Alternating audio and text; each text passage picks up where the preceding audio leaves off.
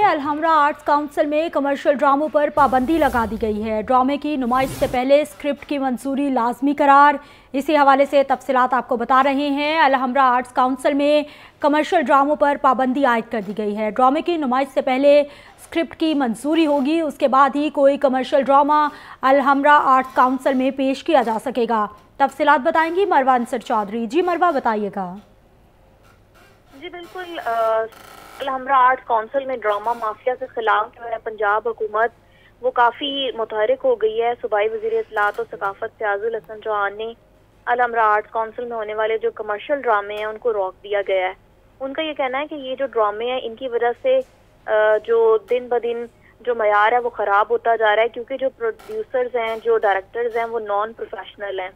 इनका जो स्क्रिप्ट है, वो जो हमारी रवायात है, हमारी जो इकदार है, माशी, उसके मुताबिक नहीं होता।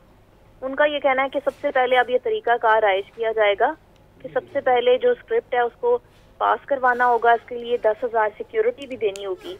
और ड्रामे की जो सूरत हाल के मुताबिक जो है वो पाँच गाने नहीं बल्कि तीन गाने होंगे और वो भी जो है वो हमारी जो इकदार है उनमें रहकर वो कराए जाएँगे और उसमें जो मलबूसात इस्तेमाल किए जाएँगे वो भी जो हमारी रवायात है और हमारा जो कल्चर है उसके मुताबिक होगा।